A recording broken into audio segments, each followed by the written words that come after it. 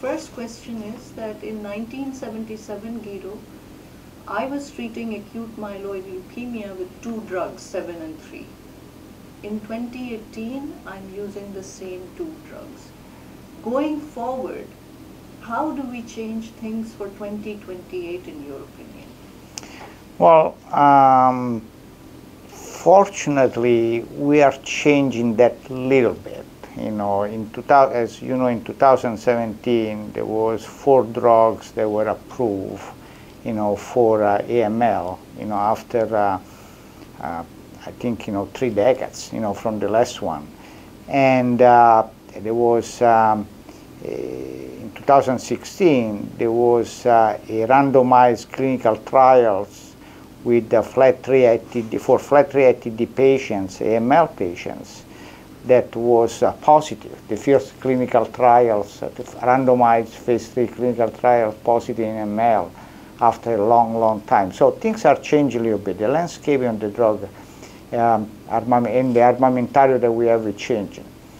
However, in my opinion, we still are not going to the root of the problem because a lot of these drugs are not curative drugs. A lot of these drugs really target what we call passenger mutations. And the problem is that we have a very few approach, therapy approach to the evil mothers of all the AML blasts that are the leukemia stem cells. And uh, yes, sure, we look at drugs that decrease the blast, that we kill the proliferating cells, but the problem is that we are not uh, really think how to target effectively the leukemia stem cells and the niche, the microenvironment that support them. And I think if we want to really radically change our approach to ML, we really need to go back and really think about, rather than just the proliferating compartment of the leukemia, also the stemness over the leukemia stem cells and uh, the niche where they live. That would be a two-punch approach, both in the for the microenvironment and the leukemia stem cells. Excellent. Very thoughtful answer. Thank you. My second question to you is that there have been 3.5 million papers published in cancer. In 2017 alone, 135,000 papers were published. But there is a staggering disconnect between great scientific insights and improve therapies by the bedside. What are we doing wrong, Guido? Well, I would, uh, this is a very difficult question because, uh, you know, it's uh, a multifaceted problem in the sense that um, publication, of course, is driven by, you know, uh, different interests, Sometimes publication and the peer review uh, process is driven by the brand of the paper, you know, the, how the leading authors are uh, considered, how the leading institutions are considered. Rightly so, because, you know, there is, uh, of course, uh, the reputation, the expertise that has been demonstrated that to weight in the opinion of uh, uh, um, new opinion that are put forward. However, you know, the peer review process need to be a bit more rigorous probably that we do. Um, the other thing, unfortunately, I would say that still in 2018, medicine is not an exact science. Um, I don't like when I hear the art of medicine. The medicine should be an art, should not be an art, should be a science. I think a lot to do with the fact that we look at the problem from a qualitative aspect rather than a quantitative aspect. In my opinion, there is not enough math and uh, rigorosity in the experiment that we do and we propose in our paper. And I think you know this needs to be changed in order to really uh, try to approach uh, again um, problem from uh, in a way that other uh, discipline in the other scientific discipline will do. I think about physics, I think about you know mathematics, I think about things where uh, um, an answer is uh, exactly exact you know is driven by certain type parameters. And i'm i'm afraid that uh, in medicine still still there is the artistic part that unfortunately confuses us a lot in my opinion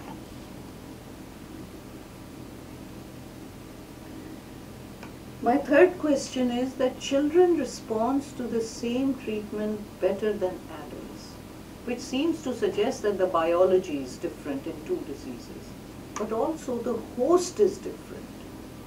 Now, since most cancer incidence increases with age, even having good therapy may not matter because the host's environment is decrepit. Suggestions? Well, you know, is cancer probably is a, a, um, a natural, um, you know, destination of what uh, is uh, our being human is. In other words, you know, is, is, is, a, is a, a natural conclusion of uh, a cycle of, uh, uh, of our organism. So it's not surprising that this will happen and just the way that we are put together, in my opinion. Now, um, um, the question here is, uh, um, so probably we never will get rid of cancer in the sense of uh, uh, uh that never will happen even uh, with, uh, with our aging. It's part of our the process of aging, in my opinion. So, but the problem is, the issue is that to find the drugs and to find way to prevent or early detection and to try effective drugs and in a way that we can uh, uh, provide uh, treatment even for uh, older patients and in a way that uh, the therapeutic index of the drug is such that we are uh, um, the patient may benefit from them and eliminate or basically minimize the toxicity. And again, we go back to the first question you know, we need to understand the biology of the disease much better in order to much better target, you know, the uh, malignant cells. Um, so to answer your question, you know, I don't think it's uh, hopeless. I think we have to accept um, that cancer probably is part of aging, and we have to deal with that uh, different, of course, that we do for a young patients. It's not part of my five questions, but since you said this, that cancer is part of aging, then the obvious next question is then do you think once we understand and cure cancer, we'll be able to cure aging? I would say when we understand aging, we will be able to cure cancer. Great answer. I love that. Guido, you have great experience and knowledge in the field. You've been taking care of hundreds of patients for so many years. You worked in the laboratory. You are a true translational researcher. You really have a grasp of what it's all about at both levels, which is very rare. Tell me if we gave you all the money and all the resources in the world to plan the future of cancer, what would it be? Um, so I, I go back again to something I said before in the fact that, you know, um, research medicine, cancer medicine, had to be more rigorous. And we need that to, um, definitely it's a biological science, but uh, it's a science. So this means that uh, a scientific approach that has been so um, effective in other disciplines could be imported, you know, also in uh, our uh, cancer research. So if I would have um, money to do that, I definitely will build a, uh, an institute of uh, integrated science where, uh, you know, I think about as an example the LHC, you know, uh, the, the particle accelerator that is in uh, Switzerland, right? You know, where there are uh, thousand, thousand people that are there not to publish a paper, not to, you know, uh, try to find the next uh, one, but really they work all together on a big, on a big project and with the highest uh, possible technology, the sharpest mind, the most enthusiastic people, and work as a team. And that is, and there is an engineer, there is a physicist, there are mathematicians, there are also some biologists. So it's a truly integrated environment. To me, integration is the key word. And you know, so if I will have money, I will build up a, a truly integrated uh, uh, scientific institute where people will work together without worry about funding, publication, or anything, but just with the, the, the, the, the goal to solve a problem, cure cancer. Thank you. That's a great answer. Finally, it's a very philosophical question. Offering patients with advanced stage non-curable cancers palliative but toxic treatment is a service or a disservice in the current therapeutic landscape? Oh, um, um, I feel very strong about this. This is a disservice. So to me, is uh, um, quality of life is uh, extremely important. Use of uh, establish realistic goal for the patients uh, is really important, and uh, in order to and then we talk a lot about personalized medicine, right? Well, personalized medicine is not only matching a mutation with the drug, it's also personalized the approach to the patient need. So in my opinion is, uh, again, uh, in that particular situation, uh, quality of life is extremely important. So the use of uh, drugs that could provide some benefit um, is uh, without uh, toxicity will be eyes on my list rather than, you know, just go with toxic cytoreductive chemotherapy that sure, you know, may look like may may do something in terms of uh, reducing the, the burden of the cancer burden, but the truth is uh, doesn't do much, you know, to for the life for the patients. Thank you very much. You've given very thoughtful and very unique answers to my questions. As a closing statement, would you like to add anything else that bothers you about cancer? Yeah, I, will say that uh, I feel uh, um, I feel very optimistic for the future. You know, I see I see a lot of the you know the concept idea that we talk in the last ten minutes. Uh, um, you know, surfacing, and uh, there are. Uh, I will say that there is more and more. Uh, um, um rigorosity in the science, there is more and more uh, integration with the other scientific discipline. And uh, I think it's really important that uh, the patient, the public understand better what is the problem. You know, I, I really, really like the fact that when the patient come to see me, they are prepared. You know, they already have read everything they could about the cancer. They make much the cancer they have. That make much easier for me to explain you know, things and what I want to accomplish.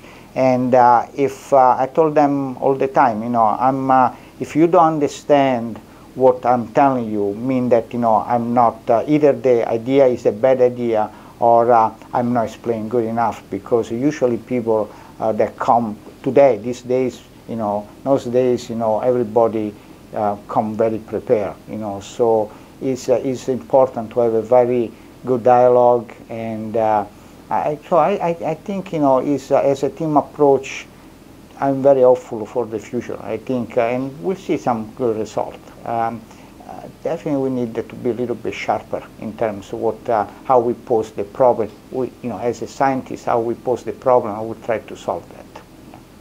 Do you think in your lifetime we will have a cure for acute myeloid leukemia besides transplant? Um, or depend how long I will live.